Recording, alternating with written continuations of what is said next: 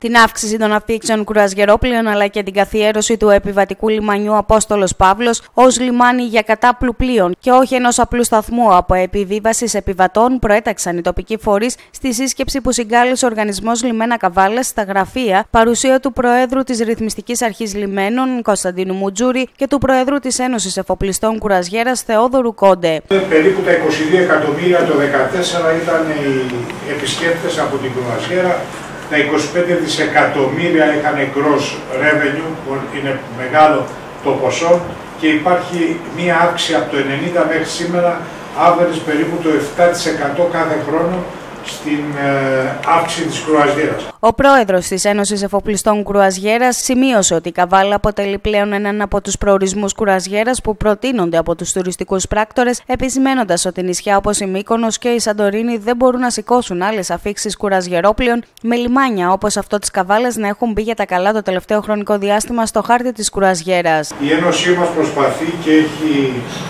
ε, άμεση επαφή με τα περισσότερα λιμάνια κρουαζιέρας, τα οποία είναι πάνω από 42, τουλάχιστον μέχρι σήμερα και ε, γίνονται όσο, όσο περνάει ο καιρός και ακόμα περισσότερα. Όλοι οι μεγάλες εταιρείες ζητάνε νέους προορισμούς, ανοίγονται μικρά νησιά, ε, νέοι προορισμοί. Δεν είναι η καβάλα έτσι δεν έχει πολύ μεγάλη ενεργό συμμετοχή μέσα αυτές τις κρουαζιέρες ωστόσο είναι ένα αρχικό πλάνο, ε, υπάρχουν περιθώρια βελτίωσης και εκεί είναι που θα παρέμβουμε με ό,τι όπλα διαθέτουμε. Οι άνθρωποι ήρθαν να μας ανοίξουν τα μάτια είναι γεγονός, να μας πούν τι, ποια είναι τα προαπαιτούμενα, τι χρειάζεται, αλλά και εμείς επισημάναμε πολλά πράγματα σε ό,τι αφορά αν είναι ένα λιμάνι ακριβό ή φτηνό, αν είναι πάνω στη ρότα των κρουαζιερόπλοιων, γιατί και αυτό παίζει ρόλο, και όπως με πολύ μεγάλη έμφαση μας τόνισαν, οι σχέσεις με τους μεγάλους tour operators. Πάρα πολύ σημαντικό πράγμα.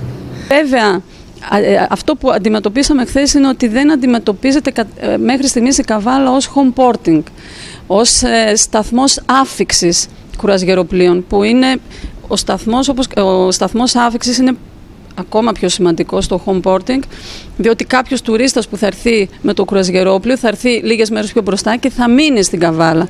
Ενώ όταν το κουρασγερόπλιο είναι απλά ο σταθμός, δεν μένει. Μη που μπαίνουν ως κίνητρα οι εκδρομές μπορούμε να το συνδυάσουμε με την Αμφίπολη που είναι ένας καινούριος προορισμός που έχει ακουστεί πάρα πολύ και στο εξωτερικό. Είναι ένας προορισμός που ενδιαφέρει πλέον τουριστικά ε, όπως επίσης και με κάποιες εκδρομές που μπορούν να συνδυαστούν ακόμα και με το Άγιο Όρος και με νησιά του Αιγαίου, τα κοντινά νησιά του Αιγαίου. Ωστόσο, στάθηκε στη σημασία της βελτίωσης των υποδομών, τονίζοντας πάντως ότι η εικόνα του λιμανιού Απόστολος Παύλος παρουσιάζει αισθητή βελτίωση σε σύγκριση με αυτή που είχαν αντικρίσει σε μια επίσκεψή τους πριν από δύο χρόνια. Τα δυσάρεστα όμως ήρθαν από την αναφορά του κ.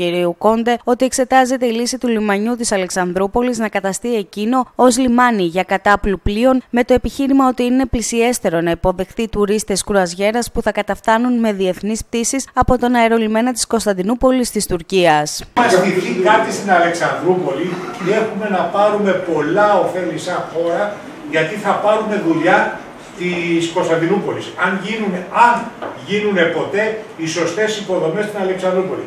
Γιατί το πλοίο εξυπηρετεί πολλές φορές το αεροδρόμιο της Κωνσταντινούπολης για τις υπερατλαντικές πτήσεις. Εδώ για να έρθει ο άλλος από την Αμερική θα πάρει connection από πού θα πάρει. Θα έρθει η Τουρκία και από Τουρκία θα πάρει το connection να έρθει στην Αθήνα. Δηλαδή δεν έχουμε αυτή τη στιγμή υποδομές τουλάχιστον σε αεροδρόμια που να εξυπηρετήσουμε.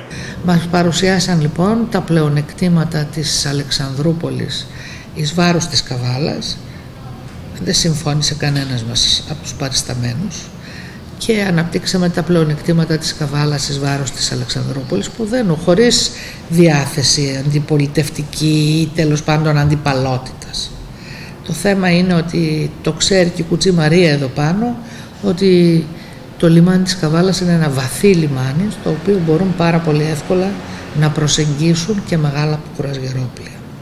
Ενώ η Αλεξανδρούπολη είναι καταδικασμένη να δέχεται το νερό του Εύρου το οποίο κουβαλάει ε, μεγάλες ποσότητες λάσπης και επομένως συνέχεια πρέπει να βρίσκεται σε μια διαδικασία εκβάθυνσης του λιμένους. Έχουμε πολλή δουλειά μπροστά μας έτσι ώστε η Καβάλα μέρα με τη μέρα, μήνα με το μήνα το λιμάνι και η πόλη έτσι να προσελκύουν και περισσότερα ε, πλοία κρουαζιέρας αλλά και γενικότερα να αυξάνεται ο τουρισμός. Μάθαμε ότι πρέπει να προσεγγίσουμε λοιπόν τους tour operators αν θέλουμε να έχουμε μεγάλο αριθμό κουρασγερόπλοιων αν και στις πόλεις που υπάρχει μεγάλος αριθμός κουρασγερόπλοιων δεν τους θέλουν πια. Τους θεωρούν μεγάλο μπελά γιατί μην ξεχνάτε ότι αυτοί είναι τουρίστες οι οποίοι έρχονται, βλέπουν για δύο-τρεις ώρες και φεύγουν. Αυτό όμως που θα δουν αν είναι ελκυστικό μπορεί να ξαναρθούν και μόνοι τους και να έρθουν να μείνουν μια εβδομάδα.